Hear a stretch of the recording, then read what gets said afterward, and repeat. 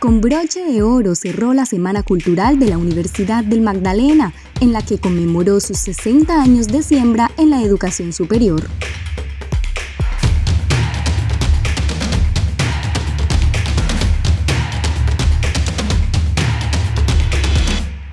Me alegra estar aquí en esta fecha tan importante para todos, celebrando en esta hermosa universidad se merece todo lo mejor del mundo. Y hoy estamos celebrando porque después de esta pandemia nos merecemos una fiesta como la que estamos viviendo.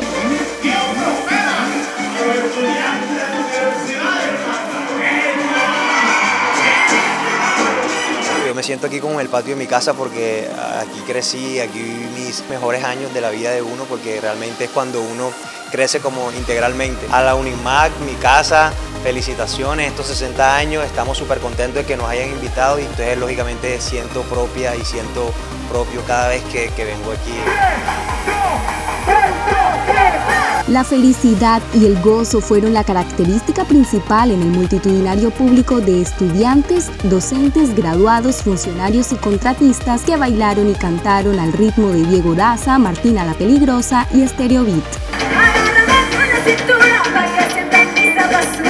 Para nosotros es un orgullo estar eh, eh, en una universidad que se ha destacado nacionalmente y que lleva haciendo las cosas muy bien desde hace mucho tiempo. La verdad es que nos encantó la energía con la que nos recibió la gente, sobre todo con las canciones nuevas que estamos que, van a salir en el álbum. Yo creo que la Universidad Magdalena es como esa, esa, ese lugar donde se caracteriza como que la gente es amaria y el feedback que tú puedes lograr aquí creo que te dice mucho de lo que puede gustar en la ciudad y, en toda la costa. Un saludo para toda la gente de la Universidad Magdalena por sus 60 años, felicitaciones, que la sigan rompiendo. Eh, nosotros los amaros somos muy orgullosos de esta universidad y bueno, muchas bendiciones y mucho fruto.